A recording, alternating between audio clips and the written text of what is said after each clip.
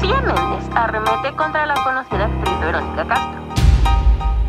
Lucía Méndez, conocida por su participación en el reality de Netflix Siempre Reinas, está en el ojo del huracán una vez más. Así como lo oyes, parece que la actriz no puede evitar los escándalos y una vez más se encuentra en la portada. Y en esta ocasión no solo por sus conflictos anteriores con Laura Zapata y Silvia Pasquel, sino también por sus explosivas declaraciones acerca de Verónica Castro. Méndez ha dejado claro que se niega a trabajar con Castro. Pero, ¿qué está pasando realmente con nuestra querida Lu? Parece que no le han enseñado que el trabajo es trabajo, sin importar con quién estés. Pero eso no es lo importante. Ahora queremos saber cómo es que Lucía ha llegado a reencarnar en el papel de villana. ¿Por qué tanto rencor hacia Verónica Castro? La gran tensión entre estas dos estrellas no tiene nada de extraordinario, pero sí tiene un poco de antigüedad, una llama que parece nunca haber cesado. Ambas divas de las telenovelas mexicanas fueron las reinas indiscutibles en las décadas de los 70 y 80, desencadenando una rivalidad que ha perdurado.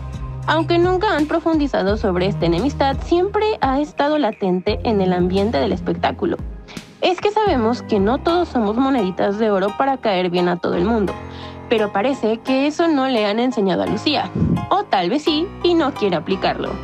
El tiempo ha traído consigo ese rumor, un rumor que no se ha esfumado.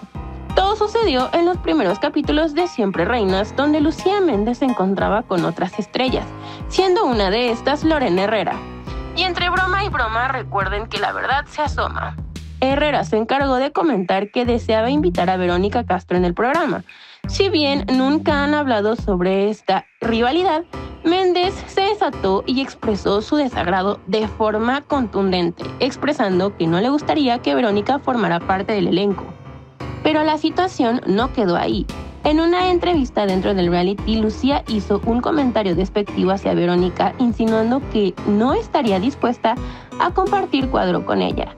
¿Pueden creerlo? Méndez no paraba de arremeter contra la conocida actriz.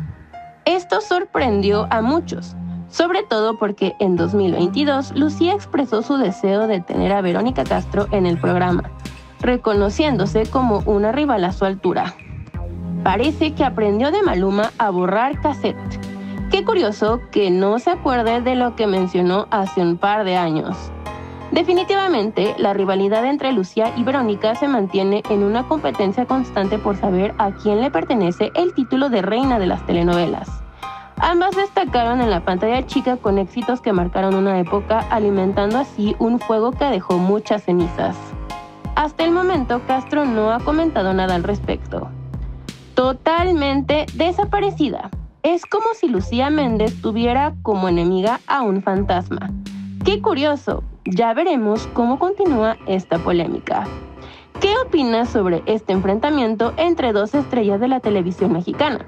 ¿Crees que deberían dejar atrás sus diferencias o consideras que es parte del espectáculo? Déjanos tus comentarios y dale un me gusta al video si te ha gustado. Espera, no te vayas sin antes ver cómo Flor Rubio apoya a Laura Zapata y confirma relación entre Nicandro Díaz y Talía. Te sorprenderá escuchar todo sobre esta polémica. Quédate para el siguiente video.